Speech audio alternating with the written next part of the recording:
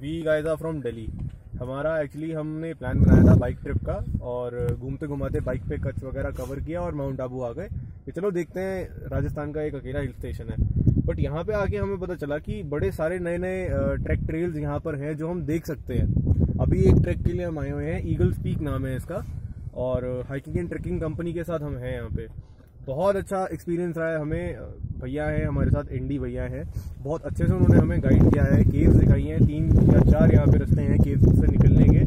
और सिखाया भी है भैया ने जो टेक्निकल चीज़ें हैं वो भी बताई हैं। और बहुत बढ़िया एक्सपीरियंस रहा। इंडी भाई के साथ करना जो भी ट्रैक करना मज़ा आ जाएगा ट्रैकिंग कंपनी आओ और मज़े लो माउंट में बहुत मज़ा आएगा। ट्रैक ज़रूर करना उस